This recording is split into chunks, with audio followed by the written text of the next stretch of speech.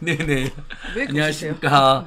시민 여러분, 애청자 여러분, 우리 미디어치 안녕을 TV, 임세현 식당 TV, 또 인산트 TV까지 항상 우리 매주 수요일 날에는 어, 진보 중도 보수연대, 좌우 중도 합작, 태극기 촛불 연합 이렇게 방송을 하게 되었습니다. 자, 오늘 또 여러분들께서 늘 수요일마다 기다리고 계시는 변희재 대표님과 임세현 소장님, 민생경제연구소 누추한 스튜디오에 와 계십니다. 여러분 박수로 환영해 주십시오. 와. 안녕하십니까. 네. 오늘 재판 재판 그 내가 바로 예. 재판 지금 마치고 이재일. 변호사님이랑 아, 아 재판. 우리 저 민생경제연구소? 아, 아. 공익법률위원장 네. 이재일 변호사님이 지금 변희 대표님을 법률 어. 전화하고 있습니다. 제 방송을 보고 오늘 재판 있다는 거 오늘 알고 아. 바로 아. 바로 선임계 내고 바로 달려와가지고 역시 이재일 이제 이재일 네. 변호사 TV도 있습니다. 역시 이재일입니다. 오늘 재판은 사실 별게 아니에요. 그 SKT가 이 계약서 위- 조작에 지금 공범으로 우리가 찍고 있기 예. 때문에 SKT가 그 자료 보안 연도가 5년이 이제 다음 달이면 5년이 돼서 어. 자료가 파기가 된단 말이에요. 그, 그 계약서 그 DB가. 그래서 우리가 이 DB를 파기하지 말라는 가처분 신청을 냈는데 음.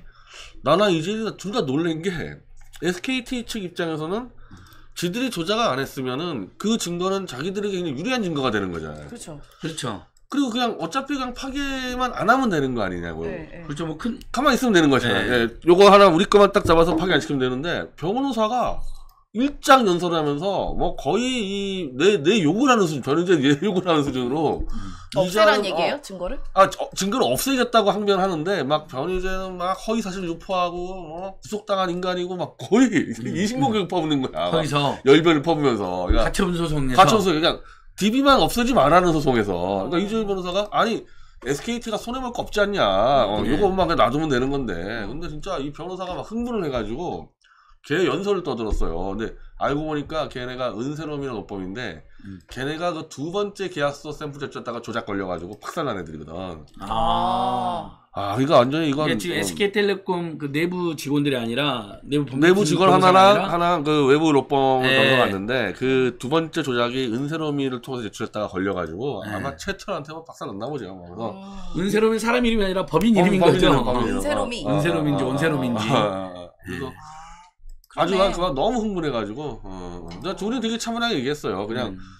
실제로 저희가 하나 카드의 이 자료가 5년 넘어가지고 파기가 됐는데 네. 예. 재판부에 그거 파기하지 말라고 요청했는데 재판부가 그냥 반기에서 파기된 사례가 있어요. 예. 그거 남아있으면 벌써 게임 끝나는 건데 그래서 내가 난 차분하게 설명하면서 그냥 가만만 놔두면 되는 거지 SKT가 뭐 돈 들어간 것도 아니고 예. 그냥 보관만 해달라 우리 차분하게 설명하고 왔고 뭐 아마 그냥 재판부도 그거 파기하지 마라 그렇게 결론 내릴 겁니다. 예. 그때 이제 하나카드는 사실은 청와대행정관 김한수가 지가 요금 내고 지가 개통하고 지가 관리했으면서 마치 최순실한테 태블 PC를 일찍 개통하자마자 넘긴 것처럼 어. 죽은 이춘상 통해서 그래서 요금도 지가 안 냈다는 걸 위장하기 위해서 요금 납부자가 범인인 그러니까- 하나 카드로 낸 거로 그러니까 이렇게 이게 어떻게 위조했다는 되냐면, 의혹이잖아요. 어, 예. 뭐 아까도 그 희한한 얘기를 하던데 말도 안 되는 얘기를 SK 측에서 음. 아니 우리가 그걸 문제 삼는 거는 실제 돈을 김한수 개인이 납부했는데 그렇죠. 계약서상으로는 김한순의 회사가 자동 납부한 것처럼 돼 있으니까 네. 그것도 하나 법인 카드인 하나 법인 카드로. 카드로. 어. 그래서 우리가 양쪽에 조, 조회를 했는데 SKT에서는 돼 있다 등록이 카드가 이렇게 네. 말하고 하나 카드에서 안 돼 있다 그렇죠. 이렇게 나왔단 말이에요 이게 근데 그러면 실제로 어떻게 되냐 실제적으로 그렇죠. 등록이 안 돼 있어요 돈 하나도 안 나갔고 네. 아 하나 카드 도저히 아예 안 나갔다. 네, 아예 안, 나갔어요 나갔고 하나 카드가 네. 어떻게 등록만 생겼냐면 우리는 김한수의 회사 그렇죠, 그렇죠. 법인 카드인데 정상적인 카드인데 등록도 자동이체 등록도 음. 돈도 안 빠져나갔다고 됐으니까 김한수나 SK가 거짓말 한 거로 추정이 되는 거죠. 음. 제 3자가 봤을 때도. 하여튼 뭐 지금 얘기는 뭐 재판 얘기하다가 좀 깊이 그러니까, 들어왔는데 예. 그 오늘 매불쇼가 나가면서 송영길 대표가 한 10번은 얘기한 것 같아 이 책을 이책 있나?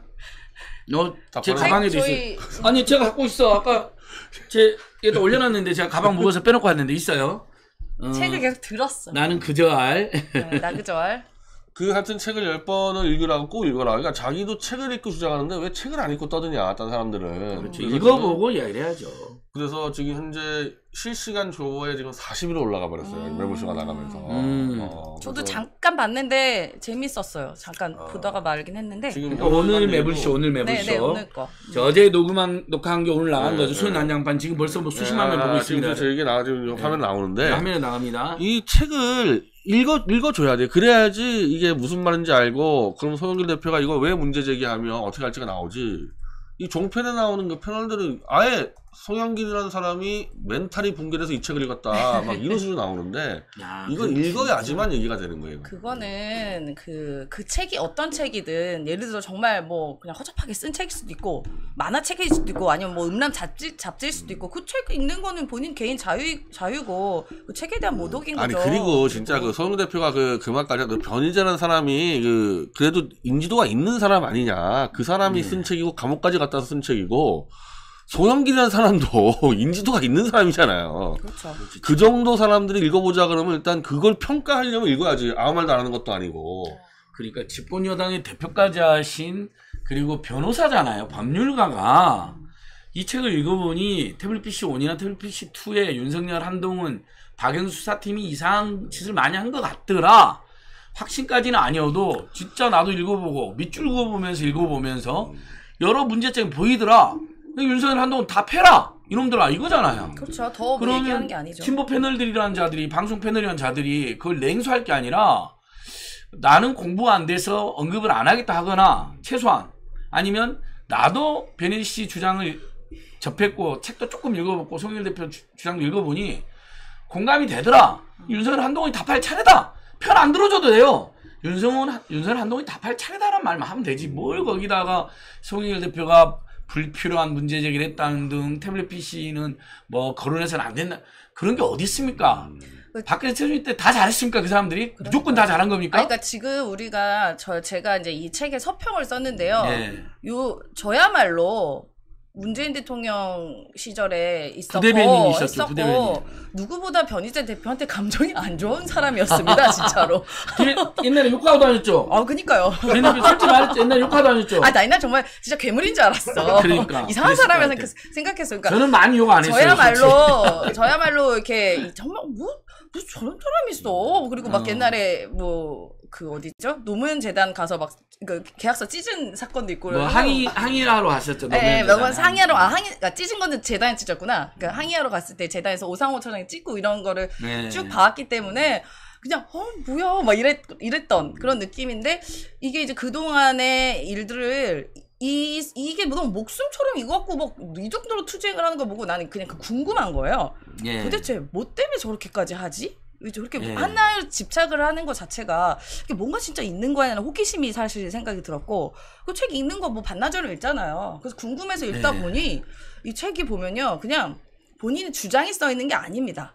그냥 증거가 딱딱딱딱딱딱 예. 증거 중심으로 그 설명만 돼 있어요. 그러니까 뭔가 이게 내가 스토리를 쓰면 그게 어떻게 보면 주작같이 보이는데 그게 아니라 매우 추정이 되는 스토 그러니까 설명 위주로 써있으니까 저는 사실 직업이 그냥 분석하는 사람이었거든요. 이거 갖고 해석하는 사람이 아니라 애널리스트. 네, 예, 예. 그러니까 증권 대우증권 미래에셋증권의 애널리스트 출신 예. 임세은 소장님의 말씀 여러분 듣고 네, 계십니다. 아니 그러니까 그러니까 그 기본이 어떠한 어, 뭔가 데이터가 있으면 그 데이터에 대해서 정확한 우리가 해석 기준이 있잖아요. 예. 그러면 그거에 대해서 결론이 나오는 거거든요. 그러니까 저는 그런 관점에서 이제 읽었는데 이게를 내가 딱히 반박할 수 있는 뭐가 없었어 사실은 그 당시에. 음. 그래도 또 궁금한 게 있으니 몇 번 여쭤봤어요. 근데 설명 그때는 또 자세히 해주시더라고요. 그러니까 예. 아 그러니까 약간 납득이 되고 그러면서 나도 마음에 갈등이 들죠. 아, 내가 탄핵 때 맨날 촛불 들고 나갔던 사람인데 음. 이런 부정이 되는 거 아닌가? 라고 했는데 사실 탄핵은 이 태블릿보다는 오히려 다른 문제들이 더 많았기 때문에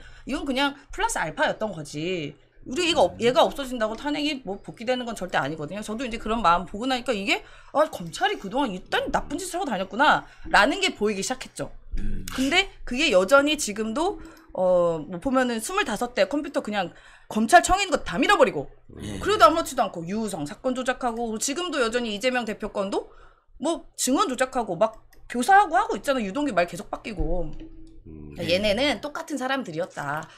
저는 그게 생각이 듭니다. 참고로 그 네. 김성수 씨 문화평론가 네. 김성수 TV. 어, 김성수 씨가 방송에서 예. 이 태블릿 관련해서 왜 촛불 진보가 이딴 거 신경 쓰느냐 네. 막 떠들었었어요. 옛날엔 아. 그랬다면서요. 한 한 두 달 전에 네. 두달 전에 그래서 저하고 같이 방송을 하자고 이렇게 얘기하다가 내가 아니 나는 태블릿으로 목숨 건 사람인데 이거를 부정하는 사람하고 방송 어떻게 되겠냐 이렇게 얘기를 하니까 강진구 기자가 강진구 기자가 읽어 얘기했다는 거야 윤성민 음, 씨한테 네. 이거 이거 충분히 읽어보나 하다 그래서 음. 읽었어요 다. 음. 다 읽자마자 바로 내가 물어봤거든요. 어렵지 않았냐 했더니 너무 쉽다. 음. 너무 쉽고 이거는 뭐 충분히 이거는 받아들일 만 하다. 그래서 책 읽자마자 바뀌었어 태도가 그냥. 음. 그러니까 제가 자꾸 강조드리는 게 이제는 이게 이슈가 됐잖아요. 예. 그 일반 독자들도 좀 부분을 판단을 해야 되는 부분인데 이거를 안 읽고는 판단을 예. 못해요. 예. 이 태블릿 PC가 지금 윤석열 정권 퇴진에 어느 정도 역할을 할 수 있는 부분들을 대해서 판단을 하려면은 이 내용을 알아야 되는 거거든요. 예. 저는.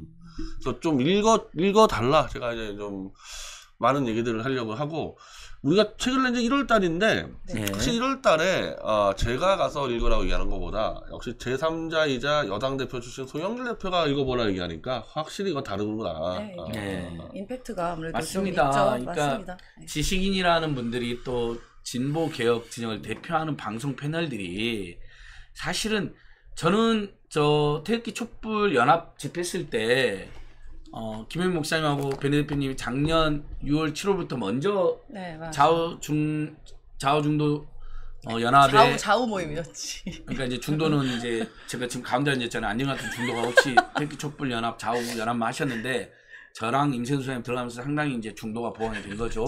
그때 전 정말 제가 양심을 고 이야기할게요. 제가 태블릿 PC 예전에 변희 대표님이 주장했을 때 그 2016년, 17년 또는 그 주- 후에 뭐 당시는 진짜 너무 정신이 없어서 일골 같이 없는 주장을 저도 생각했어요. 근데 이제 윤석열 정권 들어서서 윤석열 한동훈이 하도 나쁜 짓 많이 하고 음. 그제로 나쁜 짓 많이 하고 아니까 야 그때 당시에 이놈들이 나쁜 짓도 했을 수 있겠다는 생각을 했어요. 음. 하지만 저는 방송에서 김영 목사님과 배인 대표님이 언급하는 그 이야기는 하지는 않았어요. 음. 제가 잘 모르니까 그냥 텔피시아에 나오면 아 그 이야기는 오늘은 하지 말자 하고 넘어가니까 그런 거 있잖아요. 비판도 긍정도 안 하고 그냥 같이 중립적으로 잘 모르니까 이야기하지 맙시다 하고 넘어간 적이 있어요. 그러니까 예를 들면 변희재 씨하고 김영 목사님이 지금 주장하고 다니는 게 틀렸다거나 열, 아 맞다거나 이런 이야기 아니면 사실 안 읽어봤으니까 또 모르- 검토를 제대로 못했으니까 저는 잘 모릅니다. 그러니까 오늘은 여기서 이야기 말자고 이렇게 넘어 이게 정직한 태도인. 일단 모르면 모른다고 하고 안 읽어봤으니까.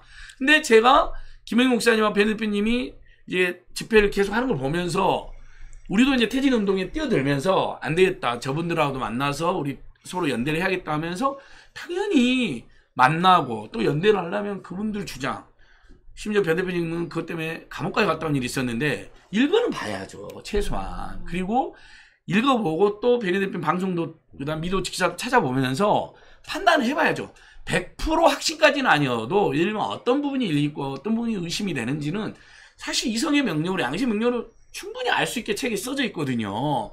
박근혜 퇴진 비상구명대 대변인 저까지도 아이고 아 당시 우리가 이, 이 지점을 특검이나 검찰에 일부 언론한테 속았네 이런 생각이 들더라니까 여러분.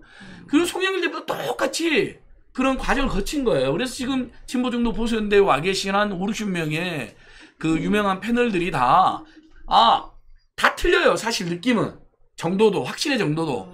분명한 건 뭐냐면 이분들이 다 뭐라냐면, 야, 책 읽어보고, 어, 안변세 특구도 보고, 변희 대표님 방송 보니까 상당히 일리가 있고 의혹이 상당히 많더라. 지금이라도 우리 같이 공부하고 문제 얘기해보자는 거거든요. 근데 아니 갑자기 일부 방송 팬들이 송영길 그 이야기를 왜 했냐 부적절하다 썰렁하다 뭐 그건 진짜 너무 실망스러웠어요. 아니 잘 모르면 그냥 모른다고 넘어가고 저는 모르니까 언급하지 않겠습니다 하든지 편 들어달라고 하는 것도 아니에요. 편 안 들어줘도 좋아요. 좋아요. 아니면 최소한 같이 중립적으로 이슈가 됐으니까 이제 윤석열 한동훈이 다 하십시오 하면 되잖아요. 근데 마치 부적절한 예를 든 것처럼 그리고 어, 굉장히 뭐랄까요? 어, 하지 말아야 될 주장을 한 것처럼 하신 분들이 있었어요. 그건 진짜 실망스러웠다. 이 자리를 통해서 반박하고 싶습니다. 예. 저는 뭐 이정미 정의당 대표랑 저 윤태곤 네. 어, 전 프레시안 기자 이, 조선일보에 쓴 게 민주당의 정체성에 반하는 짓이다. 그러니까 태블릿 조작론을 얘기하는 것은 민주당 정체성에 반하는 짓이다. 이거 제가 굉장히 좀 분노 분노가 네.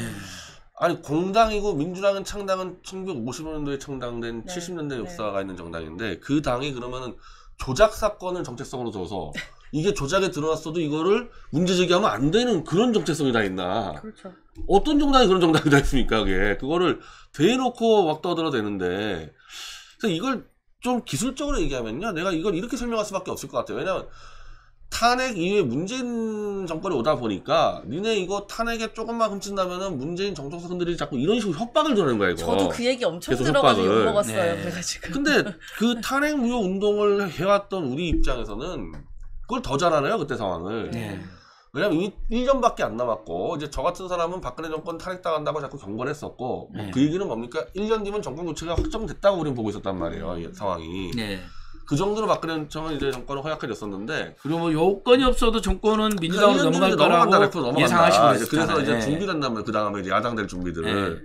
근데 이게 탄핵이 벌어지니까 실제로 누가 제일 열심히 뛰었냐면은 안철수 당하고 네. 박지원이 연결돼서 김무성, 유승민이 요 라인이 제일 열심히 뛰었어요 탄핵은 그렇죠. 탄핵에 제일 먼저 그 얘기한 사람들도. 것도 왜냐하면 예.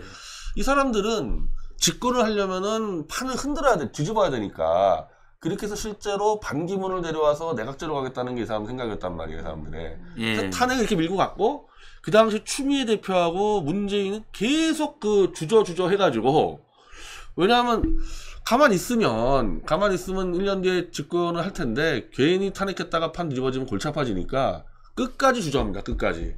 그 나중에 욕을 엄청 먹었어요, 이 사람들이. 주저했다고. 예, 예, 예. 심지어 추미애 대표는 박근혜하고 만나려고 하다가 그것도 걸려가지고 맞아요. 난리가 기억납니다. 그 정도로 탄핵을 안 하려고 그랬던 거야 여기서는 그때 판단 잘못해서 어, 많은 저희 항의를 기- 받았죠. 어, 예. 저희도 예. 기억나요. 그거. 그러니까 결국엔 탄핵은 민주당과는 별 관계가 없고 탄핵으로 얻은 이익도 없어요 민주당은 음. 원래 집권할 거를 1년 빨리 빨리 집권할 한 것밖에 거죠. 없는 거고 네. 임기가 늘어난 것도 아니고 네. 어차피 그럼 탄핵으로서 얻은 이득은 어- 누가 가져갔냐면은 윤석열 한동훈이에요 그렇죠. 결과적으로 지금은 결과적으로 더더욱 그렇게 됐어요. 지금 그렇죠. 네. 탄핵이 없었어도 민주당 문재인 집권은 거의 확정됐었던 상황이다. 음. 근데 만약에 이 탄핵이 없었으면 윤석열 한동훈은 집권은커녕 이미 감옥에 가 있어야 하던 애들이 존재하지도 못했어요. 이 탄핵으로서 한 거니까 그리고 그 윤석열 한동훈과 유착된 사람들이 누굽니까? 조중동하고 보수 변절자들이거든 지금 상황이. 네. 그러니까 탄핵의 정체성은 이 사람들이에요, 이 사람들. 음. 이 사람들이고 이 사람들이야말로 태블릿 조작이 드러나면은 지금이라도 다 감옥 가야 되는 사람들이에요. 네. 네. 여기에 민주당 왜, 왜 끼냐고, 이 판에. 민주당은 들어갈 이유가 하나도 없는데. 네. 그러니까 이제 일반적으로 태블릿 PC 온 JTBC 보도가 강렬했기 때문에 그것 때문에 탄핵에 불씨가 됐다 생각하는 분들이 계시는 것 같아요. 그것은 반은 맞을 수 있죠. 하지만 전체적인 맥락을 저는 당시에 참여연대 사무처장으로서 전 상황을 다 봤잖아요. 2014년, 15년, 17년, 18 이때를.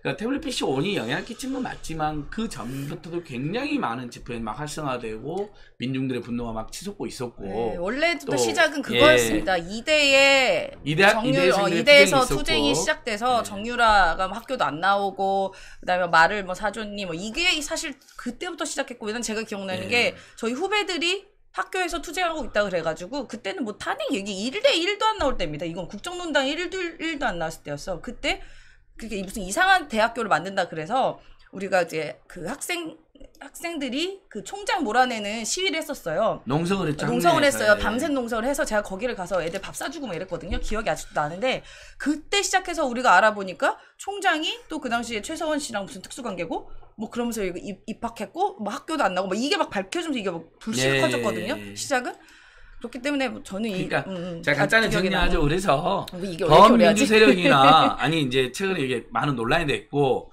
사실은 저희와 함께 정치검찰에 문제 제기를 했던 일부 인사들까지도 송영일 대표가 마치 부적절한 언급을 한 것처럼 지적하니까 이건 저희들이 그분들하고도 앞으로도 대하고 소통을 하겠습니다만 어쨌든 저희들도 어 이건 애청자들께 지금 미도 재청자들도 많이 계시고 임세인 네. 식당 아니면 TV 인사이트 TV도 많이 돌아와 계시니까 좀 저희들 입장을 설명을 드린 겁니다. 변대표는 변대표대로 저희들은 저희들대로 그래서 탄핵이나 퇴진이 이걸로 물리는 일은 없을 겁니다. 아, 이미 끝난 예, 거예요. 그건 이미 판단은. 지났잖아요. 네. 정책 탄핵은 됐고요. 헌재 판결을 되돌리는 건 법으로도 방법이 없습니다. 유일한 것은 윤석열 한동훈이 저질렀던 법- 수없이 많은 범죄 중에 어쨌든 큰 범죄잖아요, 여러분.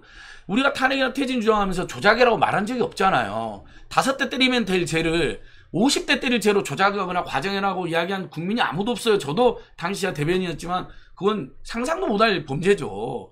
지금이라도 밝혀내는 게 용기 있는 거고 그게 사회 정의고 그리고 지금 집권 세력으로서 나를 망치고 있는 자들이 그것을 저지른 자들이기 때문에 당연히 그걸 비엔 대표님이나 송일 대표님 문제 제기한다면 공감하는 세력이 응원하고 함께 가면 되는 겁니다. 네. 예. 그리고 이제 박근혜 문제 이제 뭐 박근혜 탄핵이 다 무효가 되니 뭐 정말 막 10발, 20발 앞서 나간 얘기를 해서 의도적으로 태블릿을 못 건드리게 그렇죠. 그런 겁을 주도 협박이 주면, 협박 예. 완전히. 근데 우리가 다음 주 수요일 날 박근혜 자택에 세 번째 갑니다. 제가 네. 저는 세 네. 번째 가는 거예요. 그리고 김영민 목사 같이 가서 음. 나와라 나와서 태블릿 투쟁을 함께 하라 이렇게 얘기할 수 있다는 거는 박근혜 대통령이 이제 와서 이 조작이 드러나는 과정에서 기여한 게 하나도 없어요. 오히려 방해한 방해했지. 예. 딴 사람이 자기 재판에 올라간 증거 조작을 딴 사람들이 잡아줬습니다. 음. 그리고 그 과정에서 도와준 건 없는 정도가 아니라 윤석열 정권이 올라서는 과정에서도 본인은 이 정권을 출범을 막을 수 있는 기회가 분명 있었는데 그 침묵으로 동조했고 네.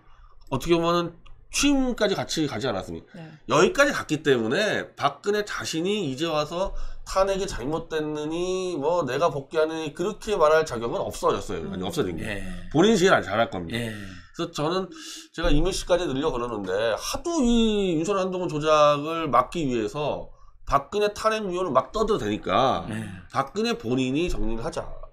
음. 예. 정치적 탄핵은 나는 받아들이겠다. 이미 끝난 거다. 받아들인다. 네. 그러나 그 과정에서 벌어진 윤석열 한동훈의 조작은 다 밝혀야 된다. 이렇게 박근혜가 입장을 내도록 제가 이 메시지를 전달하려고 그래요. 공개적으로. 네. 네, 네. 그리고 네. 저는 박근혜는 그렇게 해야 된다고 봅니다. 네. 자꾸 저렇게 음해 들어오는 거에 대해서 본인이 늦었어. 만약에 그 탄핵을 안 받아들이려고 하면요. 본인이 투쟁할 수 있는 기회 여러 차례 있었습니다. 음. 그거 다, 다 지나갔기 때문에. 다 지나버린 다것 지나갔어요. 다 네. 지나갔어. 네. 오히려 자신이 해야 될 거를 촛불 사람들과 촛불 국민들이 도와준 거에서 감사 인사를 해야 되고 먼저부터. 예. 감사부터 하고 예. 당신들의 정책 판단 나 수용하겠다. 그리고 나서 그렇지만 검찰 조작을 같이 잡자. 이렇게 하면 깔끔하게 정리될 거예요. 예. 그렇죠. 예. 그게 제일 좋은 모양새긴 하죠. 그리고 저는 이제 마지막 여기는 여기까지만 할게요, 여러분. 송영길 전 대표님 메시지 가장 설득력 있는 게 저는 이런 거였다고 생각을 해요.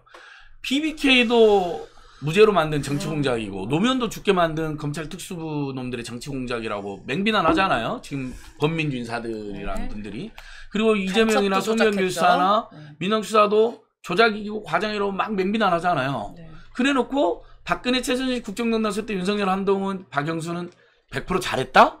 어느 국민이 그걸 설득력 있게 받아들이겠습니까? 그러니까 당연히 그때 당시에도 이자들이 상당한 장난이나 무리, 를 예, 했을 무리수를. 뒀을 거라고 이렇게 한번 생각해 보고 그래서 좀 더 책도 읽어보고 주장도 검토해보고 팩트도 찾아보면서 저희들이 다 사실 입장이 다 다르잖아요. 여러분 지금도 이제 채팅창에 보면 예민한 주제들에서는 의견이 다르고 저희한테 지적을 주신 분도 많이 계세요. 제가 다 읽어보고 있습니다. 생각이 있고요.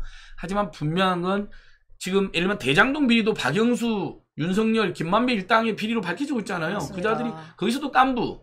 그 다음에 예를 들면 각종 사건에서도 정치검찰의 탐욕과 입신양명을 위하여 온갖 조작질을 한 겁니다. 그건 지금 진보중도 보수에 내가 밝혀낼 최고의 저는 사명을 생각하고 거기서 당연히 그 결과로 이 자들은 퇴진 탄핵시키는 겁니다. 그리고 정말 좋은 정부에서 이제 진보중도 보수가 서로 협력하고 소통하고, 소통하고 이제 다른 부분은 또 어쩔 수 없이 선의 경쟁이라든지 또 때로는 격렬한 대- 토론도 하겠지만 이렇게 간 된다고 생각하고요. 그래서 자 다시 한번 마지막으로 호소드립니다. 아직 책을 알- 안 읽어보신 분들 많이 있을 겁니다. 책 읽어보고 이걸 임세훈 소장도 어딘가 글 썼던데 최종 판단은 역시 각 방송 패널들이나 국민들 각각의 몫입니다. 저희들이 이렇게 호소드리고 당부드려도 저희들 생각하고 좀 다른 결론을 내실 수도 있잖아요. 지금 댓글에도 지적하신 분들도 있고 그거 괜찮습니다. 어떻게 합니까? 생각이 다른 부분을 결론이 다른 부분을 그건 또 그것대로 저희도 존중하면서 어쨌든 저희는 성실하게 팩트를 중심으로 의혹을 계속 제기하는데 특히 스픽스라는 언론사에서 지금 다큐멘터리를 찍고 있거든요. 변 대표님도 인터뷰 길게 하고 오셨죠. 송영길 대표도 어제 용기 있게 했고. 하셨고요. 저도 어제 한 시간 넘게 했습니다.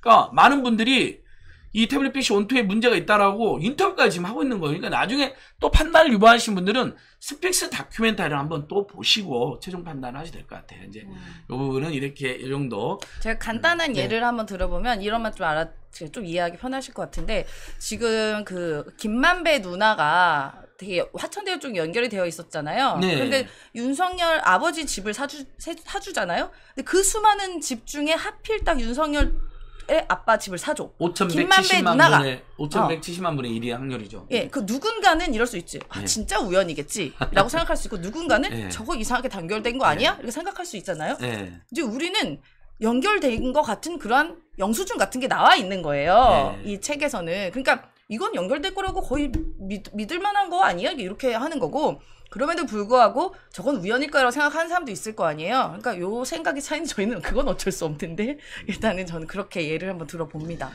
예. 그, 지금, 아무튼 매불쇼 다시 이야기하겠습니다. 왜냐하면, 최근에 이제, 어, 진보 정도 보수 연대가 윤석열, 한동훈 정, 특히 정치 검찰들의 여러 가지 만행들에 맞서면서, 어, 이 태블릿 PC one two까지 포함하여 저희들이 이제 다 살펴봐야 된다고 이제 호소를 드리는 거잖아요.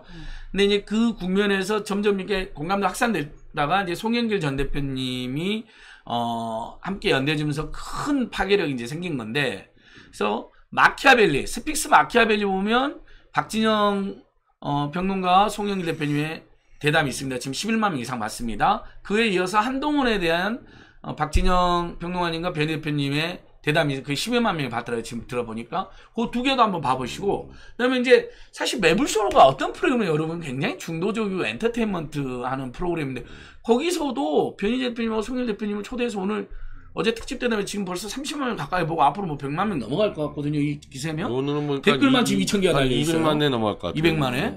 그러니까 그건 매불쇼가 보기에도 그분들은 뭐 정- 비정치적인 유튜브인데 어떻게 보면 그리고 엔터테인먼트를 중시하는 분들인데 그분들이 보기에도 이건 아예 말이 안 되는 주장이라면 그분들이 어떻게 그래도 공신력 있고 굉장히 유명한 유튜브들 그 연예인들이나 다른 분들이 그걸 다루겠습니까? 뭔가 그분들이 생각해도 뭔가 이상하다, 승연치 않은 게 있다라고 생각하고 방송하는 거 아니겠습니까? 그래서 정 이렇게 저희들 주장을 다 이제 살펴보기 어렵다면 오늘 매불쇼 지금 절찬이 상행되고 있으니까 매불쇼 잘 이상형 어, 아니 계속 올라가고 있으니까. 그리고 아까 변 대표님이 그 소개한 김성수 TV와 방송은요 유명한 유튜브들이죠. 역시 그분들도 변 대표님의 주장을 비판했던 분들인 것 같아요. 김성수 TV, 최한욱 TV. 둘둘 다 읽고 네. 저랑 같이 방송하는 거예요. 읽어보고 지난주 목요일이죠. 네. 방송을 같이 했고 지금 김성수 TV 보니까 여기는 이제 2만 명 가까이 봤는데 이것도 역시 입소문 나면 더 많이 보겠죠. 그러니까 혹시 이제 여러분들께서 좀 입소문도 내주시고 홍보도 해주시면서 함께 윤석열 한동훈 세력의 온갖 만행들을 함께 연구해 갔으면 좋겠습니다. 네. 지금은 진짜 우주 괴물이 나타나지 않았습니까? 정말 그렇죠. 힘을 합쳐서 알았어, 알았어. 무찔러야죠. 오늘 네, 아침에 소래소래에서 됐든. 임샘 소장님 또 뭐 뭐 상을 또아 잔뜩 그거 주고 맨날 얘기 다 아니 본 거야 잠깐 하고 사람들 그래도 진짜. 그냥 상 한동훈이 받았습니다. 네, 한동훈- 한동훈 이 전화기를 질질 흘리고 다녀요. 그래가지고 그니까 똥줄 싼 상. 이게 얼마나 흘렸을 때 본인이 찔리는 게 많았으면 얼마나 네. 불안하고 어떡하나 걸리면 어떡하나 혹시 비밀번호 풀리는 거 아니야 전화기 어- 어디 있지 이러고 얼마나 불안했겠어요. 음. 그러니까 심신이 괴로울 것 같아서 저희가 상을 드렸습니다. 음. 그 뭐 경찰 강력 사팀이 다 출동했던 앞으로 핸드폰 잊어먹으면 경찰 어, 수사에서. 강력 사팀 출동을 요청하면 된다는 것 같아요. 예, 많은 예시를 남겨 주셨죠. 법무부 장관이 전화기 이건 방어권이니까 안 줘도 되고 비밀번호 안 줘도 네, 되고 절대 알려주지 어, 말고 어, 예. 핸드폰 잊어먹으면 강력 사팀 출동 요청 드리면 되고. 되고 네 좋습니다. 예. 또 누가 상 받았나요? 그분 하나 받은 거예요. 아 이번에 예, 그 예, 여러 예, 후보 중에 예, 예. 예, 좋습니다. 자, 그리고 내일 그 이건 또 별도인데요. 송일 대표께서 재밌는 걸 하더라고요. 온라인 이제 뉴미디어랑 어 뉴미디어 그러니까 이런 게 1인 어, 언론이나 어, 유튜브 채널들을 초대해서 기자회견하고 저희랑 함께 백봉 네트워크를 만들고 있는 시사품격 윤선희 성악가 백봉 변혜진 선생과 함께 백봉 네트워크의 선봉이죠. 윤성악가 진행을 하고 한 30개 유튜브들하고 공동 기자회견하는데 미디어치도 네, 저는 참여를 하는데 네. 어디, 어디서 하죠? 저기 뭐 일산 일산 쪽 쪽이던데? 스튜디오더라고요. 아, 그래서 아마 가기가 그것도- 그것도 어려우면 그냥 예, 따다가 캡처, 따다가 예. 질문만 드려야 예, 되겠네. 그, 제, 제 안진걸 TV, 인생 TV도 가기는 어려워서 지금 안진걸 TV, 인생식당 TV, 인사이트 TV, 미디어치는 이제 공동 생방송해야 될 것 같고요. 현장에는 보니까 서울의 소리, 오마이 뉴스, 뭐 팩트 TV는 큰 이제 제도권 매체들까지도 많이 가더라고요. 그러니까 만약에 지금 이 방송을 유튜브들께서 있으시면 현장에 가서 생중계를 같이 하셔도 되고요. 어려우면 저희한테 연락 주시면 공동 어, 송출 TV로 소개를 해드리고 공동 송출해 주시면 되겠습니다.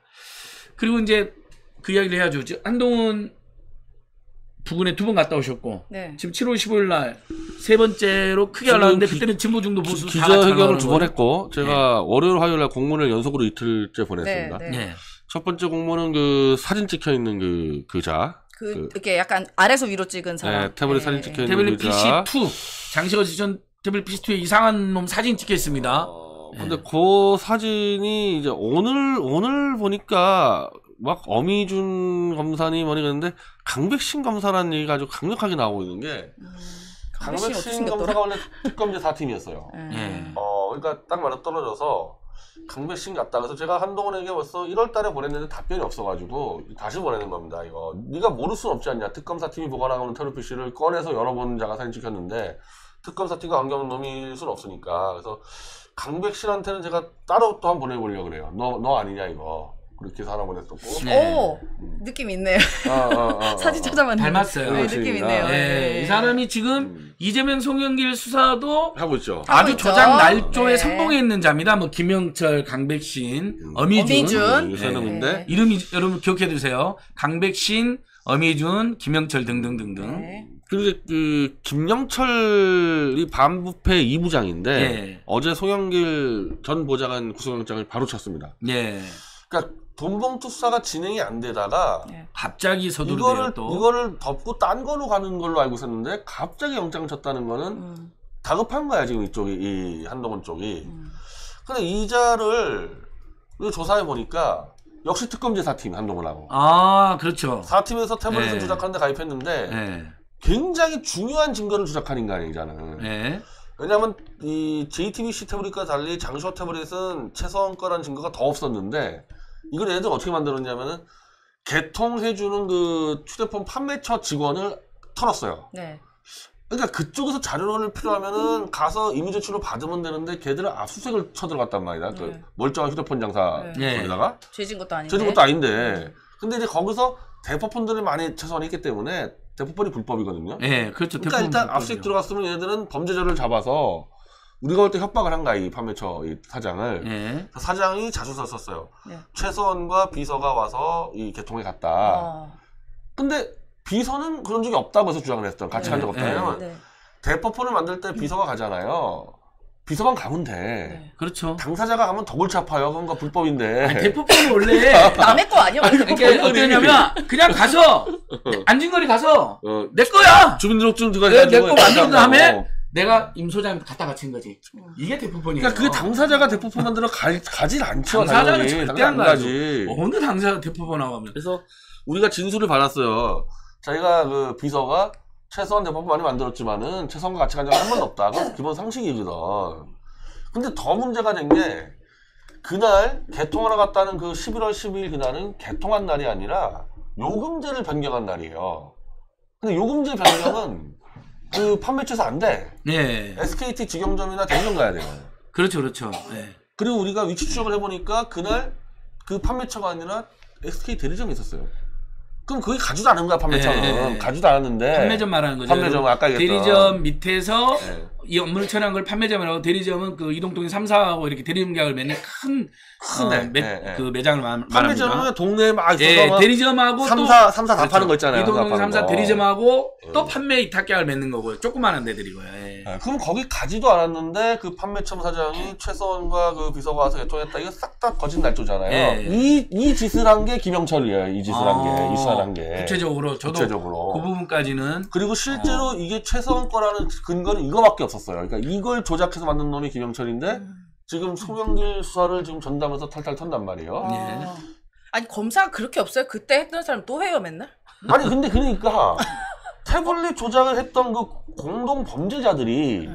태블릿 문제 제기하는 사람을 수사하고 있어. 예. 이거 윤창중 씨가 오늘 세게 짚은 건데 네. 예. 이건 100% 보복 수사다. 아니 보복 수사가 아니라 이거는 지들의 범죄 행위를 밝히는 사람은 이놈들이 수사하니까 예. 지들 범죄를 은폐하기 위해서 마구잡이 잡아들이는 거 아니냐. 예. 이 수준이면은 저는 소영길 대표는 이자들에게 수사를 깊이 하고 음. 수사팀이 바꿔달라 그러든지 특검을 넘겨야 되는 거지. 예. 전부 다 한동훈과 같이 태블릿 조작하는 공범들한테 수사를 받으면 안 되는 거죠. 소영길 대표 쪽은. 예. 근데 이게 문제제기 해야 되는 거예요. 보통은 이제 어떤 검사가 예를 들어 담당을 할 때 누가 정해요 그거를? 그거는 대검, 대검에서, 정해요, 어, 중앙 중앙지검. 대검에서 정하고 하는데. 대검 중앙지검 지금 이게 이 소영길 대표 사건이 반부패부로 넘어 안 되는 사건이거든요. 예. 그러니까 이게 무슨 부정부패 사건이 이게 아니고. 반복? 원래 보통 선거는요 선거 범죄는 일반 범죄 사실 일반 선거 아, 범죄에 아. 비해서도 굉장히 경미한 사건인데 이 사건은 예, 예. 공안부가 합니다 음. 공안부. 아니- 그러니까 이걸 특수부 반부패부가 여러분 특수부인데 그동안 조작을 일삼았던 자들이 특수부 여기 지금 안녕을 TV에서 루루님이 어 이것도 알려주셨네. 저도 생각나게 맞네요. 한명숙 사건 조작한 놈들 강백신 어미죠. 맞아요. 그때도 아, 나와요. 왜 그때도 아, 얘네들 예. 그러니까 조작은 원래 조작의 명수들이 시키는 거예요. 그렇죠, 그렇죠. 박영수, 윤석열, 한동훈, 김홍일, 그다음에 요즘에 나오는 강백신, 어미준, 뭐 김현 다그 라인이에요. 아, 그러니까 제가 사람 이름 믿을 만한 사람 그쪽이가 사람 사람 시키는 이름 거예요. 사람 이름도 잘 못 외우긴 하지만 특히나 검사 이름 외울 일이 없잖아요. 근데 요새 말하면 다 이 사람들인 거예요. 음. 우리 관련된 사람들은 민주당 관련된 사람이든 뭐 이재명이든 뭐 정진상, 김용이든 다이이 사람들 그러니까 조작을 시켜야 되니까 지들 범죄 조직에다 맡길 수밖에 없죠. 음, 정상적인 그렇죠. 검사도 못 맡기는 거지. 음. 맞습니다. 그래서 지금 우리가 또 하나씩 하나씩 이렇게 뭐 과거의 잘못이던 지금 저지른 조작이던 다 일맥상통한 맥락이 있고 보니까 인물이 다 겹친다. 그러니까요. 여기까지가 지금 어 많이 제가 밝혀낸 부분이고 송영길 전 대표님 지지그룹에서도 그 김영철의 이 태블릿 PC 조작 의혹 연루 요것을 또 주목하고 많이 또 알리고 계시더라고요. 저희가 지금 예. 기사로 올려놨어요. 어, 이번에 기사 올려놨기 때문에 이건 뭐 검토해서 좀 분명히 문제 제기를 해야 된다고 봐요. 이거. 음. 좋습니다. 그러게. 근데 기피 신청하면 기피는 돼요, 근데? 원래 수사 기피에 그 있어요 근거가. 아. 그러니까 현저하게 부당하게 수사할 게 뻔한 사람들은 음. 기피 신청할 수 있는 거가 있기 때문에 음. 아, 나, 내가 볼 때 딱 떨어져. 음. 소영기 대표는 한동훈하고 나 이걸 조작 범죄자라고 찍고 좀 밝히고 있는데 그놈들한테 수사 받을 수가 없는 거죠 당연히. 네. 이해 당사자들이니까. 근데 이제 검찰들이 잘 안 받아들여져요. 법원도 잘 안 받아주지만, 근데 법원은 가끔 받아주잖아요. 네. 근데 이 검찰은 더 안 받으니까 가장 우리 사회에서 제일 권력이 세면서도 어떤 외부의 견제나 감시도 제대로 안 받고 지멋대로 하는 조직이 근데 이 만약에. 이걸 안 받아주면은 송 대표 쪽 지금 뭐 알바생까지 다 털잖아요. 네. 수사 거부해버려야 돼. 콜센터까지 네. 막다 수사 털고. 거부해버려야 돼. 예. 저는 경찰 단계에서 경찰 단계에서 수사할 때 너무 편파적으로 수사해서 내가 기피 신청했을 때 그냥 적었어요. 만약에 안 바꿔주면 나 수사 안 받아버리겠다 해서 바꾼 적, 예. 한 여러, 경찰에서 많이 바꿨어요. 저는. 음. 예. 그 송영일 대표의 그 외곽 연계 조직인 먹고 사는 평화 먹고 사는 문제 연구소 먹사모. 거기를 먹사요, 여러분 먹사요. 변 대표님도 어느 방송에서 이야기하던데요. 애들이 진짜 조작이라는 게 저는 어떻게 느껴져요? 식당 결제 내역을 지금 압수하고 있거든요. 수사하고 있거든요. 결국 뭐가 안 나오니까 이제 그 사람들 밥 먹을 때 외부에서 누가 결제해 준 거 있잖아요. 요걸 불법 청사금으로 이제 아이고. 사실 선배 들 와서 진짜. 밥도 사주기도 하고 경우에 따라서는 뭐 선결제해주고 하는 경우도 있잖아요. 그쵸. 이런 걸 지금 뒤지고 있는 거야. 아, 선거 때, 예, 예. 그, 선거 때, 특히 경선 때 같은 경우는 이런 게 이제 일당 기- 기준이 없기 때문에. 예. 그, 그러니까 법이 없는 거야. 어떻게 해야 법이 된다는. 없죠. 그렇죠. 아예. 예. 예. 당내 경선 때. 이제 이 선배들이 와서 밥값을 내고 가거든요. 이게 이거를 턴 턴을 하면 그러니까요. 그거 불법일 수는 있지만 은 법이 없으니까 네. 그런 거를 이제 다 조사해가지고 밥값 낸 것까지 불법 정치자금으로 네. 가졌다는 네. 거 아닙니까 이거? 그러니까 뭔가 안 뭔가 안 걸리는 거죠. 지금 대장동 수사에서도 이재명이 안 이재명의 죄는 안 나오고 이재명 대표 죄는 안 나오고 오히려 윤석열, 김만배, 뭐 박영수, 결국 박영수가 다 걸려들었죠 지금. 그다음 양 양재택이 양재택이 아니라 양재택 그, 그 김건희 씨 양재식. 연구검사고 양재식 특검 뭐 다 나오고 있잖아요, 여러분. 네. 이런 것처럼 여기서도 지금 송영길 안 나오니까 와 별건에 별건에 별건에 별건 이런 짓을 하는 놈들이 지금 윤석열 한동훈 세력입니다. 네, 이걸 어떻게 두고 예, 봅니까? 근데 어떻게 진짜. 범진보 패널이란 분들이 송영길 대표의 투쟁 방식이 잘못됐다거나 뭐 거론해서 안 될 걸 거론 그러시면 안 됩니다. 어떻게 그러면서 정치 검찰이 만행을 이야기합니까? 다시 한번 어 그 뭐 모르고 그랬다고 치고요. 제가 변 대표도 많이 나섰고 저희들까지도 이렇게 호소하고 지적도 하니까 지금부터는 그러지 말고 정치검찰의 모든 문제점을 같이 연구하고 탐구하고 자신 없으면 가만히 계시고 조금 생각이 들면 함께 해주십시오. 다시 한- 하도 지금 또 저희가 저도 사실 열받아가지고 이 이야기를 많이 좀 맞아요. 드리게 저희도 되네요. 이제 많이 회의를 저희 많이 했는데 네, 회의까지 했어요. 네. 저희는 회의를 많이. 했는데, 그러니까 저랑 안 소장님 둘이 이제 회의를 이것저것 많이 했는데, 그러니까 뭐 소장님도 그러고 저도 그러고 이제 민주 진영으로 어쨌든 패널로 나가잖아요. 그러면 우리가 필연적으로 맞이하는 게 지금 민주당에 있는 이른바 뭐 사법 리스크로 말은 하지만 전 그 말이 아니라고 생각하고 검찰 리스크라고 생각을 하지만 이른바 이제 뭐 당대표 얘기라던가 그리고 이 지금 돈봉투 이제 뭐 김남국 건까지 쭉 나와 있지 않습니까? 그러니까 우리가 이 사건들을 봤을 때 정말 명확한 증거 없이 그냥 녹취 아니면 지금 녹취록 정영학은 녹취록 아닙니까? 그 다음에 돈봉투는 녹취. 그 다음에 김남국은 녹, 녹취도 없어. 녹취도 아니야. 그냥 본인이 한 거 뭐 이런 거는데 여기서 지- 그러면 이, 이 사건의 증거에 경중을 보면 지금 저쪽에서 나온 거는 너무 명확하고 엑셀 파일 나와. 예를 들어 김건희여서 주거 조작. 네. 엑셀 파일 나와, 거래 내용 나와, 녹취 나와, 자기들끼리 한 정황 나와, 심지어 재판도 유죄를 받았어. 예를 들면 이런 건과 이거는 비교했을 때 어디를 더 수사해야 되겠어요? 근데 여기만 달탈탈탈 털고 네 말 바뀌고 막 이거는 우리가 상식적으로 납득이 안 되는 거고 우리도 진보 패널에서는 이 부분을 지적을 안 할 수가 없는 거거든요. 그렇기 때문에 지금 조작하고 한 부분이 너무 명백 하게 느껴지는 거잖아요. 근데 이게 우리 일이 되면 이렇게 되고 요, 요 일은 또 별거는 아니고 사람이 똑같아 사람이 그 사람이 그 사람이라니까요. 그러니까 사람이 바뀌냐고요. 아니 아니라고. 그래서 저희가 말씀을 드리는 거예요. 네. 네. 그래서 이제 어 이 투쟁은 어 여러분들 이제 우리 이제 방송 또 보신 분들은 이제 지지자들이 지지하는 정책이 다르긴 한데 이제 이재명 대표님 지지자들 상당히 많이 들어와 계시니까 이 투쟁은 이재명 대표님이나 송영 대표님의 억울함도 풀어주고 또 방어도 하면서 그런데 이 두 분만 정치 탄압이고 공작 수사의 피해자가 아니잖아요. 그 전에도 쭉쭉 계실 수 있는 것들을 우리는 다 들여다봤을 때 이게 진짜 양심 명령이고 진실의 명령인 거죠.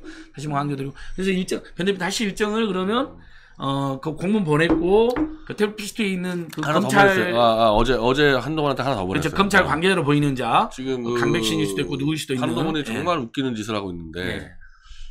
최선 태블릿으로 다 결정이 났다고 좀 주장하고 있으면은 그건 검찰의 이제 수사 발표인데 그러면 다 재판 끝났으면 최선 돌려줘야 되는데 그렇죠. 왜안 안, 돌려? 안 돌려주고 있으면서 네. 그래서 소송을 했어요 최선 씨가 이 이동하면서 통해서 네. 근데 1심 때는 우리가 국가 상대 소송을 해야 되는데 국가의 소송 수행, 수행 대상이 법무장관이 되니까 그렇죠.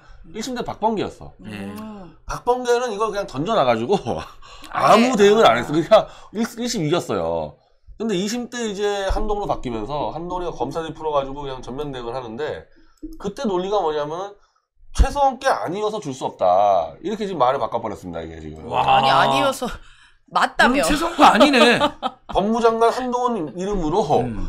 최소한가 아니어서 돌려줄 수 없다. 이렇게 지금 재판부 의견을 계속 내고 있고 진짜 뻔뻔하다 그래서 근데. 2심의 결심에서 어- 어느 상황까지 갔냐면은 이제 판사 입장에서는 아니 검찰이 지금까지 계속 최선가라 그랬으니까 주라는 입장이에요 재판부는. 네. 근데 끝까지 안 준다 그러니까 이제 이 법무부에서 우리에게 시간을 주면은 최선이 게 아니란 증거를 더 확실하게 찾아내겠다. 그래서 좀 시간을 달라 이러니까 이제 판사가 당신들이 수사했는데 그게 결과가 바뀌면 당신들이 국민에게 발표하고 재수사를 해라. 네. 나는 당장 판결 내리겠다. 그래서 다음 네. 달 판결 내려서 최선 줘야 되거든요. 네. 그러니까 지금 자기들이 주장한 거를 다 말을 바꾸면서까지 최선한테는 절대 못 주겠다는 게 지금 한동훈의 입장인데 네. 최선은 감옥에 있잖아요. 네. 저걸 주면 최선이 아니라 이동환을 통해서 미디어치로 오게 돼 있는. 음. 그 미디어치 오면 우리가 그거 바로 분석해가지고 끝장 내니까 그런 식으로 해버려가지고. 거의 완전히 그 목숨 걸고 저거 안 주겠다는 거예요 한동훈은. 네. 근데 어따 대고 막 다니면서 저질 괴담, 네. 저질 괴담.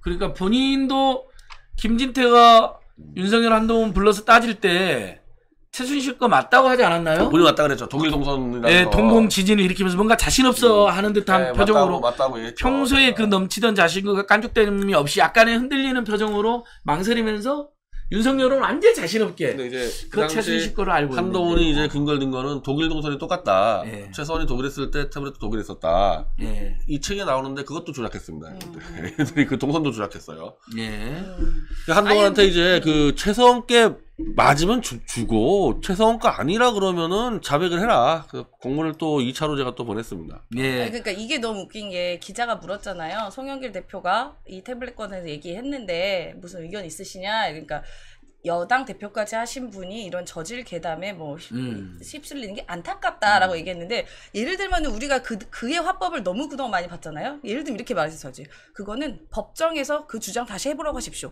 이렇게 보통 얘기하지 않아요? 음. 이런 식으로 얘기하잖아요. 아니면 더 깐죽대던가. 예, 아니 뭐 자기 아는 대로 그건 뭐 내가 수사를 우리가 수사를 했는데 네. 최순실 게 맞습니다. 뭐 이렇게 근데 그런 구체적인 멘트를 안 하는 거예요. 어, 그러니까 되게 애매하잖아. 예, 안타깝. 그러니까 안타깝. 논란이 생기는 게 두려운 거죠. 음. 제가 분석한 그래요. 그냥 그냥 그런 거 일단은 이야, 이야기하면 피곤해지고 복잡해지고 뭔가 책이 잡히니까 그냥 아 괴담이다 하고 넘어가 버리려 그러는. 그 한동훈이가 떠들고 다음날 이원석 검찰총장하고 서울중앙지검 고영건 사차장이 튀어나왔는데 네. 둘다 둘 다 태블릿 조작에 개입한 자들이에요. 그러니까 지금 튀어나온 다 태블릿 조작의 공범들이에요 지금 네. 이 한동훈 사단은.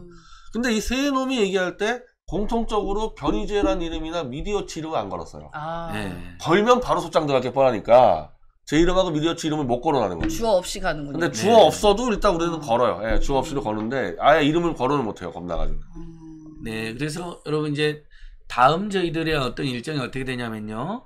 7월 15일 날 이제 전국 집중 촛불 집회가 있습니다. 어, 이제 그날은 또 어제 출범한 노동자 농민 민중단체 중심의 윤석열 퇴진 국민운동본부의 제1차 본국민대도 있어요. 윤석열 퇴진. 그리고 촛불행동의 전국 퇴진운동 집회도 있어요. 이 두 개가 한꺼번에 할 수도 있고 각각 시간대를 달리해서 따로 할 수도 있어요. 뭐여도 괜찮습니다. 일단 곳곳에서 퇴진 투쟁이 확산되고 있는데 그날 12시에서 1시께 우리 이제 시간을 정해야 되는데 진보 중도 보수 연대가 한동훈 집 부근 동네로 가서 어, 한동훈이 그동안 했던 각종 조작 범죄, 태블릿 PC 의혹까지 포함하여 자백하라. 그리고 괴담이란 말 사과하고 오히려 대화 토론에 응해라.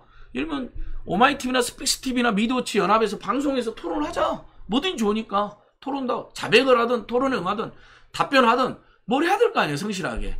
공문을 그렇게 보내고 그렇게 수백만 수천만이 보는 방송에서 그걸 지적했는데 괴담 한마디로 퉁치고 넘어가고 그래놓고는 여러분 중앙님 4차장 브리핑 이런 살벌한 구절이 나옵니다.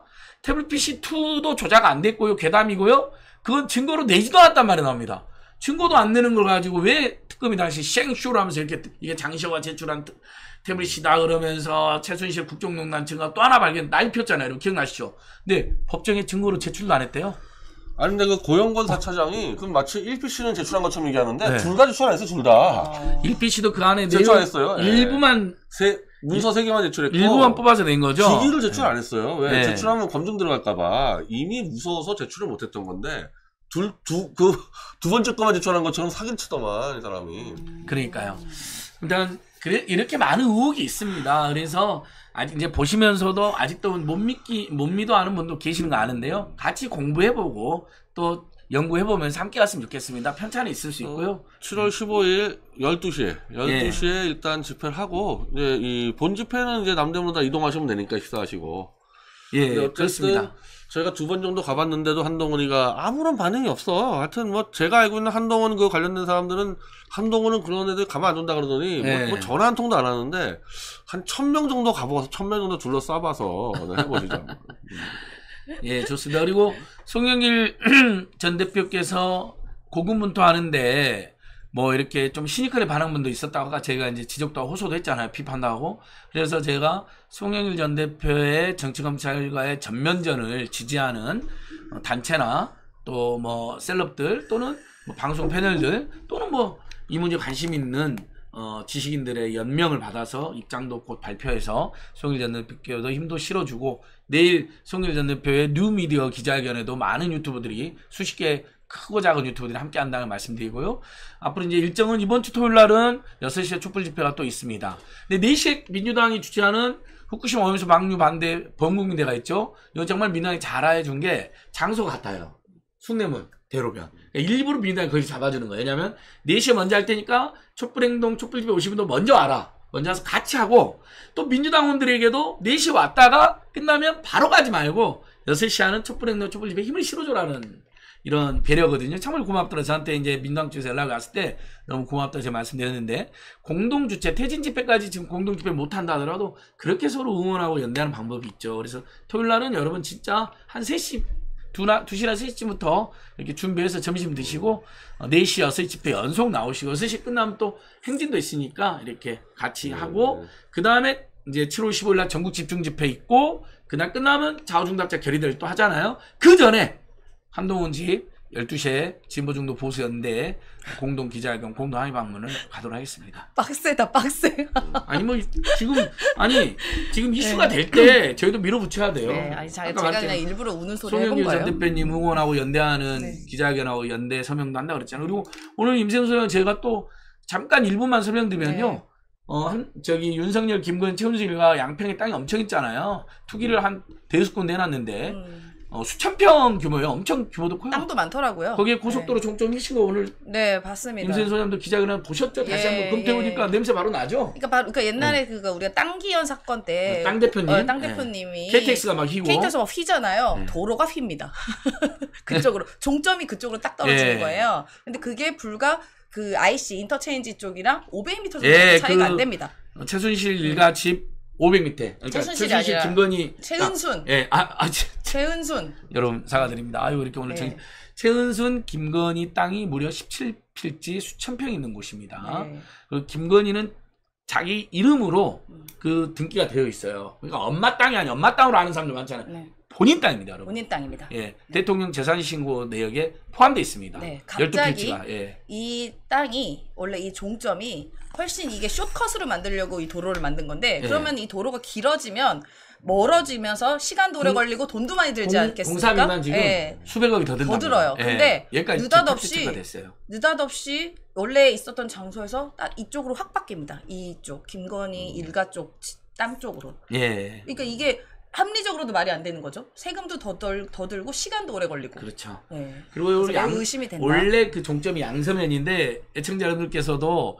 그 두물머리 있는데 네, 양평 육번국도 네. 거기 서울 강원도 경기도 왔다 갔다 할 때 차 엄청 막힌 고통 다 있으시 거기로 송파 양평 고속도로 들어가고 차량을 분산시키는 거거든요. 네. 서울로 서울 강동 송파권 갈 사람들 그 빨리 가버리고 네. 근데 갑자기 왜 강상면으로 가는 거예요? 김건희 최순 최은순 땅으로 음. 그러면 거기 교통체증 하나도 해결이 안 돼요. 네. 이것도 미스테리고 그런 짓을 왜 하는 이게 거예요? 더 놀라운 건 작년에 민주당 군수 임기 끝나고 국민의힘 군수가 되자마자 싹 급변경됐다는. 겁니다, 여러분. 그래서 네. 제가 이건 민생경영연구소가 어, 정말 총렬교려서 네. 민주당 강득권 뭐 등등하고 지금 연대하고 있습니다. 그리고 자, 음. 그 양평 군수가 원희룡 장관과도 어, 얼마 전에 차례 만남도 얼마 전에 만난 게 지금 확인이 또 됐습니다. 됐습니다. 본인이 그거 네. 올려놨더라고요. 네, 네. 그 SNS 에 SNS에 올렸더라고요. 올려놨습니다. 신기한 일입니다. 제가 오늘 이 정도 설명드리고 앞으로 이제 또 온라인에서 저희들 방송도 열심히 하고 네. 오프라인에서 투쟁도 열심히 하고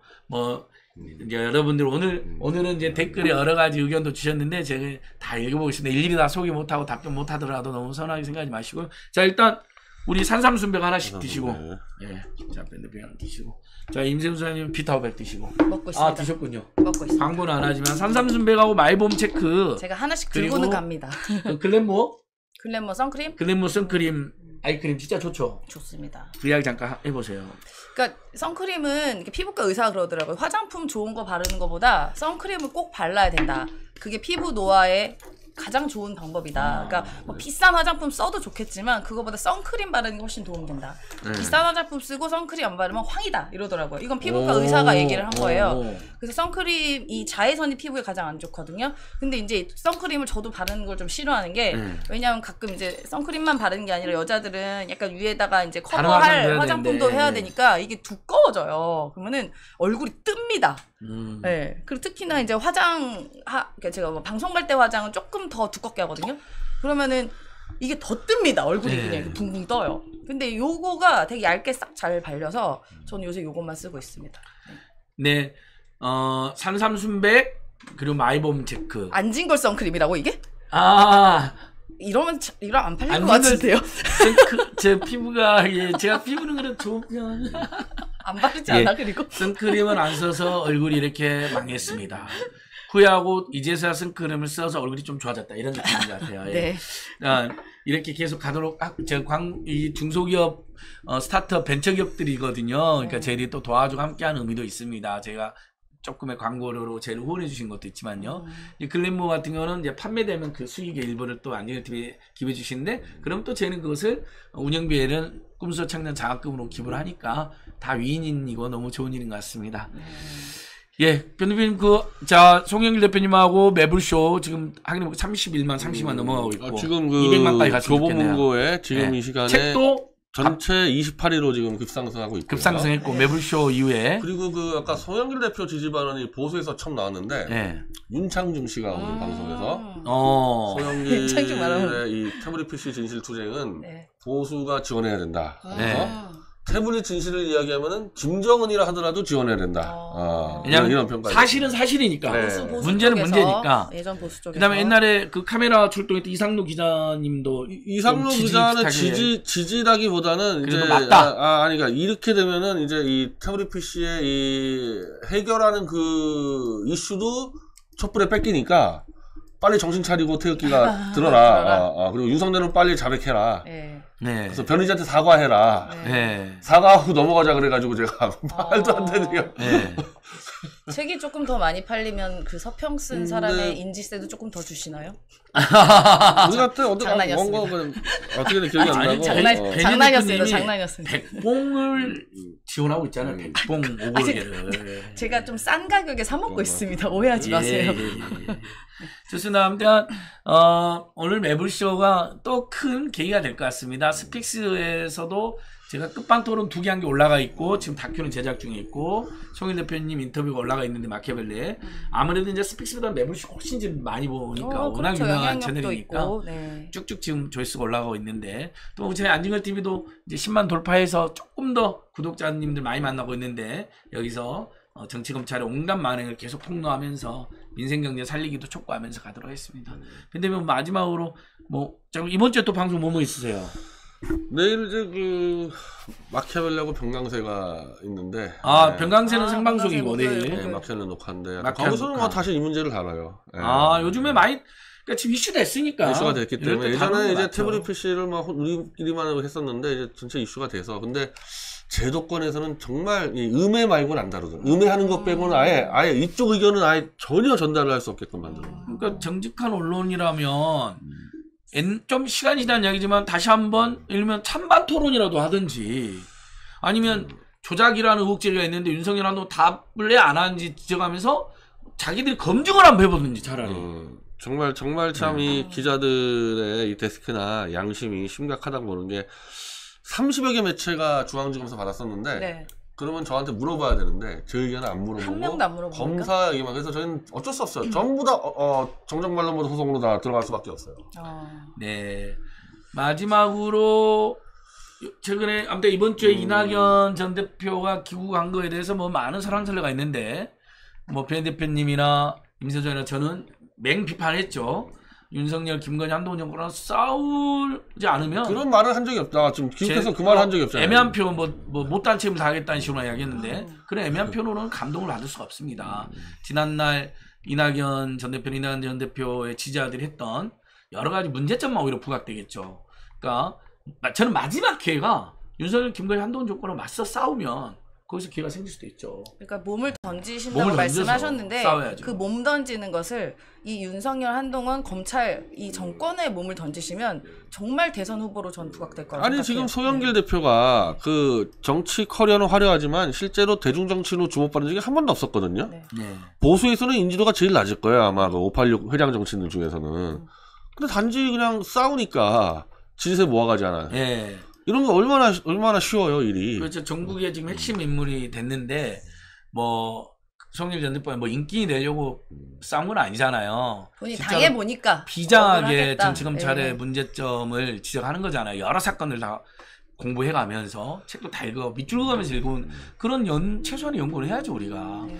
어쨌든 그렇습니다. 이낙연 전 대표에 대해서는 저희들이 방송에서 변희 대표님이나 임세훈 소장님이나 저나 많이 비평을 했습니다. 그래서 방송이나 쇼츠에도 많이 올라가 있 많이 확실히 관심은 있더라고요. 그래서 특히 이제 이재명 대표님을 지지하는 많은 분들이 이낙연 전 대표에 대해서 굉장히 비판적인 시각을 갖고 있기 때문에 많이 호응해 주시던데 근데 그래서 이재명 대표가 말한 것처럼 뭐 지금 어떻게 할지도 모르는데 당장 뭐 너무 세게 이야기할 필요는 없는데 우리 국민들의 경고와 실망과 경계를 확실히 보여주긴 해야죠. 아 저는 화요일 날 라디오 아침 라디오에서 투표에서 또 까였다면서요. 아 근데 뭐 별 얘기도 안 했어요. 뭐 깔지도 않았어요. 사실 뭐 와서 긍정적 역할 했으면 좋겠다라는 얘기도 했고. 음. 근데 대신에 이제 미국엔 왜 가셨는지 모르겠다 이런 음. 식으로 말을 했거든요. 어. 그랬더니 그게 또 종편에서 또 씹어 먹고 있더라고. 아, 그 이걸 왜 씹어 먹어 근데? 임센 소장님이 굉장히 부드러운 중도 경제학자인데 어, 정치검찰과의 투쟁, 윤석열 정권의 투쟁을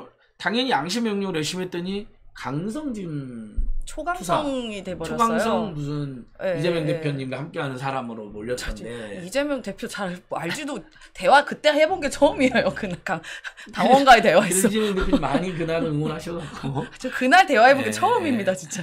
좋습니다. 잘 알지도 자 그러면 못해. 여러분 또 제가 6시 10분에서 벌써 7시 13분 1시간이 지났습니다. 텅디 PD님 뭐 공지사항 있으신가요? 동영상 틀고 야 마지막에 광고 동영상 예 제가 이제 청자들 위해서 중간에 광고가 맥락이 끊이니까 맨 마지막에 틀도록 하고요. 네. 안진걸 TV 10만을 돌파했는데 여러분 많이 응원해 주시고 구독해 주시고 좋아요 눌러 주신 덕분입니다. 다시 한번 깊이 감사드리고 어, 미디어치는 지금 35만 1000 그다음에 임세은 식당 TV는 3만 3,700 그리고 우리 인사이트 TV 2만 5천 이제 돌파했는데 어, 이런 TV들이 더 50만도 돌파하고 임세현 식당 빨리 10만 돌파하셔야죠. 네, 마지막 알겠습니다. 임세훈 소장님 홍보 한번 하십시오. 네, 아이고 저도 시작한 지가 진짜 몇 달 안 됐는데 벌써 이제 3만 3,700 분이나 뭐 되게 그러니까요. 비루한 비루한 제 채널에 와 주셔서 너무 감사드리고 저도 이제 뭐 미디어 워치 독자분들과 안진걸 TV 독자분들의 그 도움도 많이 받았습니다. 그래서 덕분에 저희 많이 성장을 했고요. 앞으로도 이제 함께 저희 같이 잘 만들어 나가도록 하겠습니다. 매우 감사합니다. 네, 네. 변대표님도 그리고 저희 앞으로도 이게 아마 제가 최근의 흐름을 봤을 때 우리 국민들이나 당원들이 지금 이 윤석열 정부가 너무한데 우리가 그동안 너무 할 말도 못하고 못 싸웠던 게 답답했던 것 같아요. 그러니까 이제 누군가는 같이 싸워주고 뭐 저희는 늘 집회 나가가지고 하지만 뭐 그렇게 큰 영향력이 이렇게 그냥 정치인들보다는 작잖아요. 그런데 이제 어떤 정치인들 분들이 하나씩 나서 주시면 저는 이 흐름이 이제 또 이- 우리 쪽으로 넘어올 것 같다는 좀 희망 회로를 좀 돌려봅니다. 네. 네. 그날이 머지 않았을 것 같아요. 예, 변대표님께서도 뭐 간단하게 먼저 마무 금요일은 오후 4시에 그 네. SK 본사 앞에서 예. 최태원은 태블릿 조작 자 백하라. 태블 네, 네. PC와 관련된 SK 그룹의 연루업에 종로 대해서 SK 본사 앞에서 예, 하시고 있습니다. 그다음에 내일은 병강세 저기 변희재 강성범 박지훈의 세상 보기 네. 그건 4시인가요 생방송이? 네, 네, 네. 4시 그래서 그렇게 봐주시고요 아무튼 오늘은 그 저기 변희 대표님이나 임선수나 저희들이 이제 평소에 각각 또 방송할 때 보면 이제 비평하는 게 좀 다를 수 있는데 거기에 대한 의견도 많이 주셨는데 그런 분도 제가 잘 읽었습니다 뭐 마음이 상하신 분도 있는 것 같은데 저희가 생각이 다 똑같을 수는 없잖아요. 그래서 그런 면에서는 또 여러분들께서 너그러운 양해를 제가 구하기도 하고 또 한편으로는 저희들 또 안변세 토크도 또 진보 중도 보수연대도 서로 간에 생각이 다른 부분이 있지만 계속 존중하면서 소통하고 또 노력도 하고 있다는 점도 여러분 말씀드리면서 오늘 방송은 마무리 되겠죠? 네. 예. 네. 여러분 그럼 마지막에 광고 나가는데요. 시간 되시면 봐주시고 안 되면 어쩔 수 없지만 안진걸 TV, 인사이트 TV, 임세은 식당 TV, 변- 미디어치 TV 오늘 안변세 토크는 마치고 어, 투쟁 현장에서 집회 현장에서 또 토요일날 민주당 집회 현장에서 되신 분들은 같이 보겠습니다. 여러분 고맙습니다. 오늘 방송 마치겠습니다. 감사합니다. 안녕히 계세요. 전하, 산삼 드실 시간이 옵니다. 오 그래 그래 나도 기다리고 있었다 음 오늘은 유난히도 향이 진하게 느껴지는구나 어찌된 것이냐 예, 뿌리, 잎, 열매 한 뿌리를 한 병에 다 담았사옵니다. 그뿐 아니라 지리산 800고지에서 자란 시중 산양 산삼을 사용하였고 아무것도 섞지 않은 순 100% 원액이옵니다. 그래서 이름도 산삼 순백입니다, 전하. 아하 그래서 그런지 먹자마자 힘이 불끈 솟는구나 아예 한 박스 갖다 놓거라 알아서 먹게 지난 10년간 매달 20만 원씩 꼬박꼬박 보험 넣은 김호구 씨. 마흔 줄에 처음 병원 신세를 졌는데 과연 그 보장 금액은? 꼴랑 100만 원이요. 왜 이렇게 실망스러운 겁니까? 제가 뭘 잘못한 겁니까? 보험 손해 보지 마세요. 최고의 전문가들이 본인에게 가장 적합한 보험으로 맞춤형 리모델링 해드립니다. 지금 바로 마이보험 체크하세요. 검색창에 마이보험 체크.